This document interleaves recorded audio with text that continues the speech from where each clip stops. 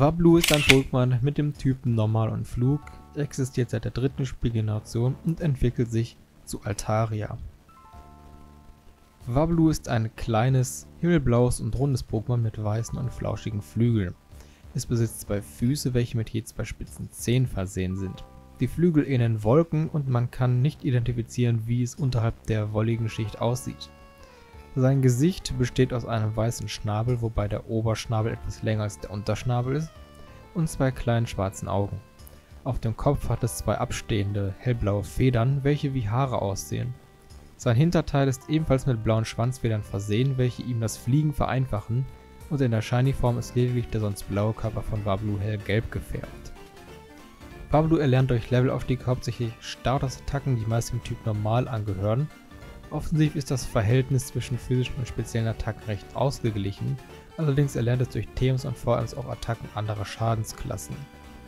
Zudem besitzt Wablu die Fähigkeit Innere Kraft. Dies erlaubt alle Statusveränderungen von Wablu wie zum Beispiel Vergiftung oder Paralyse beim Austausch oder nach einem Pokémon-Kampf zu heilen. Die versteckte Fähigkeit Wolke 7, die nur seltene Exemplare besitzen, sorgt dafür, dass Wettereffekte keinen Einfluss mehr auf den Kampf haben und Gegner auch, jedoch Altaria selbst, diese nicht mehr zu ihren Gunsten nutzen können. Pablo ist ein sehr zutrauliches Pokémon und hat deshalb keine Angst vor Menschen. Es landet gerne auf den Köpfen fremder Personen und bleibt dort sitzen wie ein wattierter Hut. Zudem liebt es schmutzige Gegenstände zu putzen, indem es diese mit seinen weichen Flügeln reinigt.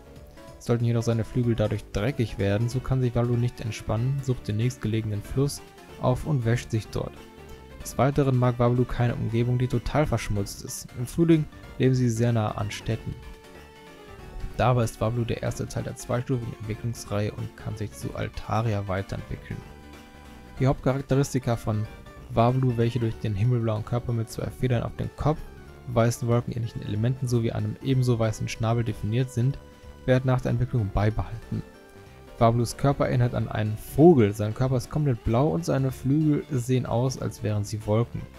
Bei seiner Entwicklung zu Altaria zieht sich die wolkenähnliche Struktur ebenfalls durch die Bauchseite des Körpers. Dem Pokémon wächst ein eleganter langer Hals, die Federn auf dem Kopf werden länger. Bei der Mega-Entwicklung, die Altaria verführen kann, fällt auf, dass vor allem die Flügel des Pokémon deutlich voluminöser und sein Körper weniger gedrungen werden.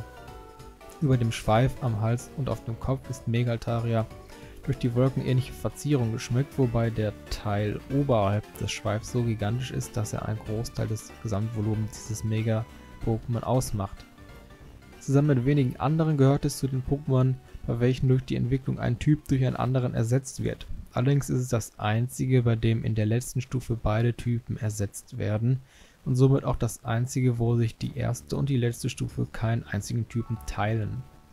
Damit gehört es abgesehen von den Evolutionen den Entwicklungsreihen mit den meisten Typen oder Typenkombinationen an in den Spielen der Hauptreihe wird dabei die Entwicklung von Wablu zu Altaria auf Level 35 ausgelöst und die Mega-Entwicklung ist durch ein Altaria Need möglich.